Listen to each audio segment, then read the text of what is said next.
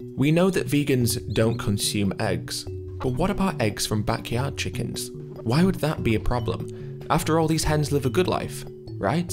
These are questions vegans encounter all the time, and at first, they seem reasonable. After all, most of the problems associated with egg production don't exist with eggs from backyard hens. So what would the problem be? The first thing to consider is where the hens have come from. If they have been bought from a farmer or a breeder, then by buying hens, we are still contributing to the problems associated with commercial egg production, such as the male chicks being killed at birth, normally through being macerated or being gassed and the other hens, who are instead used or sold into commercial egg production, being killed in slaughterhouses after only 18 months. However, if we adopt hens from farms or slaughterhouses and rescue them from these places, then what could possibly be the problem? Firstly, it's important to recognise that hens wouldn't naturally lay 300 or more eggs a year, but have instead been selectively bred to do so. Wild red junglefowl, the ancestor of the modern day egg-laying hen, only produce around 10 to 15 eggs a year and will lay in clutches rather than producing eggs on an almost daily basis, which means we have bred these animals to produce up to 30 times more eggs than they are naturally designed to do so. This obviously takes a huge toll on their bodies, especially as it also depletes a lot of vitamins and minerals from their bodies, including calcium, which is taken from their bodies to produce the shells. This is one of the reasons why osteoporosis and broken bones are such a huge issue within commercial egg farms, with it being reported that as many as 86% of egg-laying hens in the UK suffering a fracture.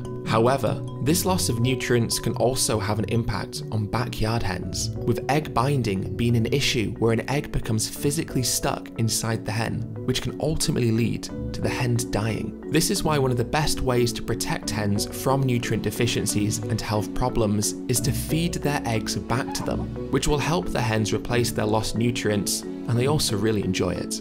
Other health complications exacerbated by a hen's excessive egg production include egg yolk peritonitis, where the yolk of the egg gets stuck in their body and becomes infected by bacteria such as E. coli. When peritonitis becomes widespread, it almost always leads to death. Egg-laying hens will also suffer from prolapses, where the cloaca, the area of the body where the egg comes out, is pushed outside of their body.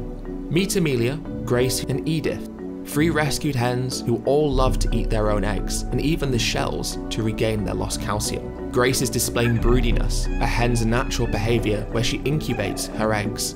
However, if we were to take her eggs from her, it would deny her the ability to carry out one of her natural behaviours, which is one of the reasons why Grace gets to keep her eggs. As well as eating their eggs when they're fed back to them, hens will often eat their eggs themselves, without their owners having to break the eggs or specifically feed them back to them. However, this is viewed as being negative by people who keep hens just for their eggs, with it even being advised that hen owners should cull the hens who are eating their own eggs, as those hens aren't serving the purpose the owners want them to. And they can also teach the other hens to eat their own eggs as well, further amplifying the perceived problem. And this really highlights the wider problem of backyard eggs, the intention of why someone has hens in the first place. If the intention of having hens is only because you want the eggs, then that means we are viewing the hen as a resource and viewing their worth of life as being dependent on what they produce for us. This is why it can be seen as normal to kill a hen because they are eating their own eggs,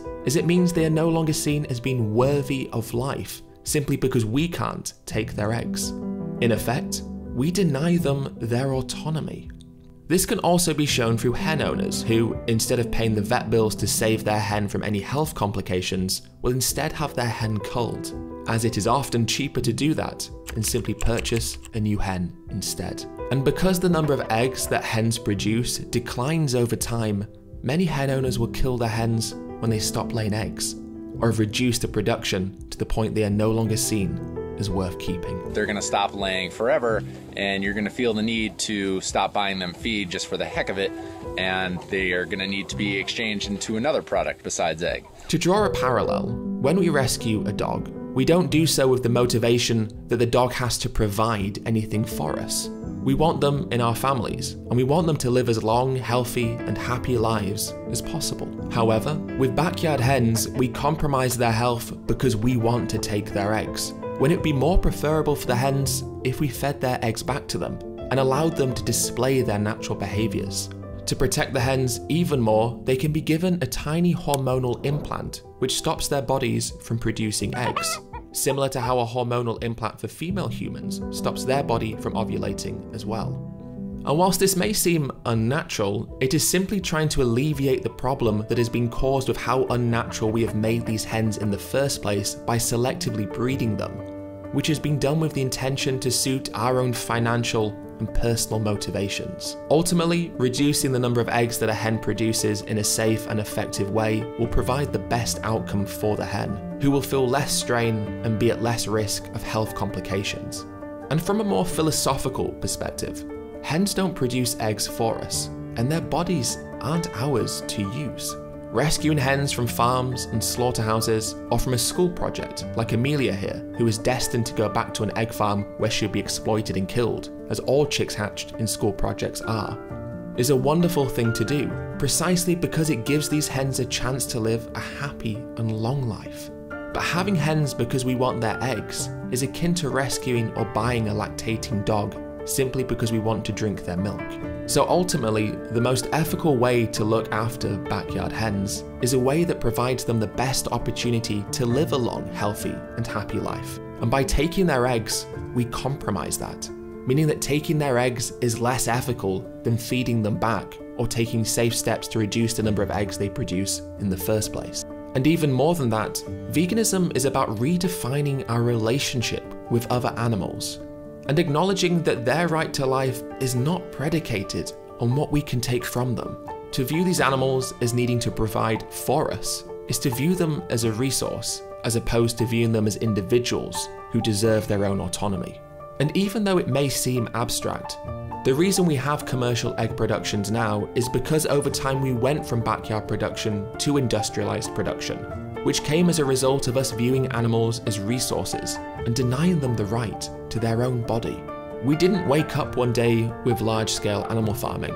We created it over a period of time by telling ourselves that these animals are here to produce for us, and kidding ourselves into thinking that we had the animals' best interests at heart, while simultaneously maximizing their use for our own personal gain.